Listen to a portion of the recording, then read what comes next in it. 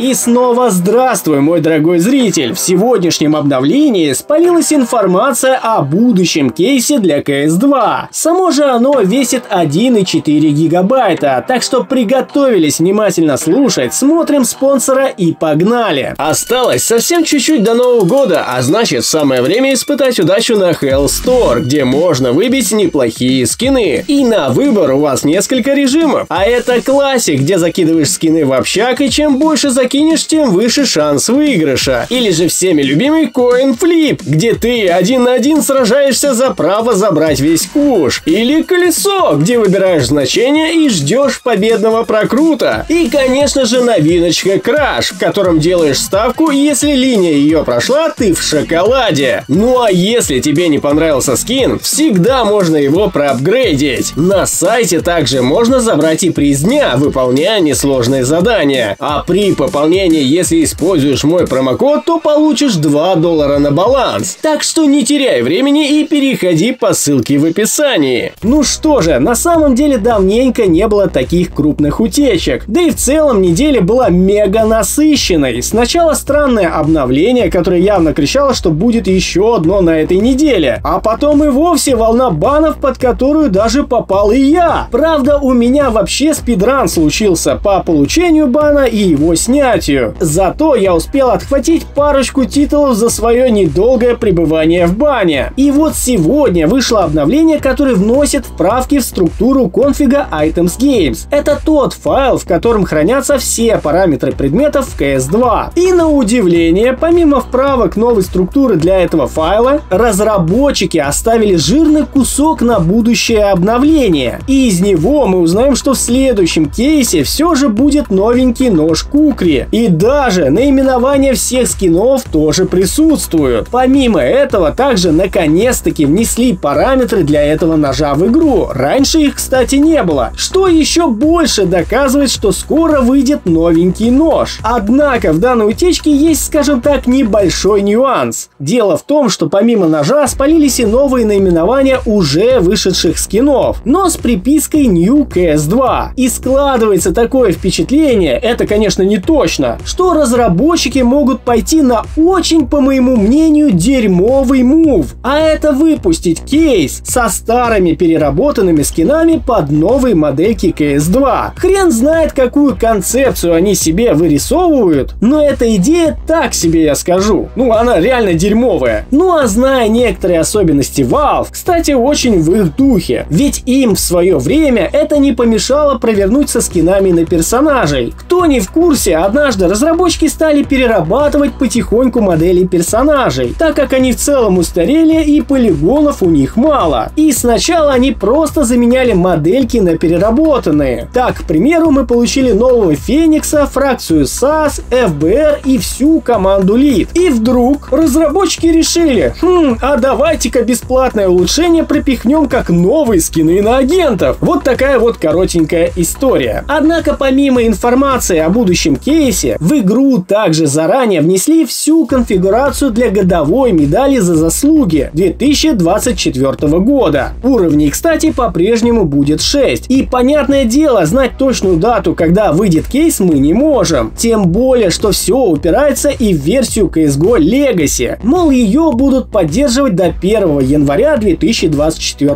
года. И поэтому ничего, собственно, и не выпускалось в CS2. Однако, это лишь предположение, но так как вместе с кейсом слилась и медаль, то скорее всего зальют полностью их в игру вместе. А это скорее всего точно в этом месяце. Забавно, да? Прям перед самым закрытием поддержки CSGO Legacy. Но давайте все же вернемся к официальному списку изменений. У нас как бы обнова вышла. Внесли изменения на карты Mirage, Anubis, Vertigo, Nuke, Inferno и Dust 2. Изменения на этих картах мелкие, да и связаны они то с фиксом коллизии, то закрытием некоторых зазоров. Ну а в основном исправили некорректное отображение анимации у вашей тени. Переключение оружия после отпускания кнопки огня больше не отменяет броски гранат. Различные улучшения оптимизации у системы анимации. И исправили различные баги с воспроизведением демок. А также исправлена ошибка, из-за которой стартовые пистолеты не отображались на вкладке пистолеты в снаряжении. Ну и исправили проблему, из-за которой глушители не отображались на оружии. Ну и на этом обновление заканчивается. Всем огромнейшее спасибо за просмотр, всем пока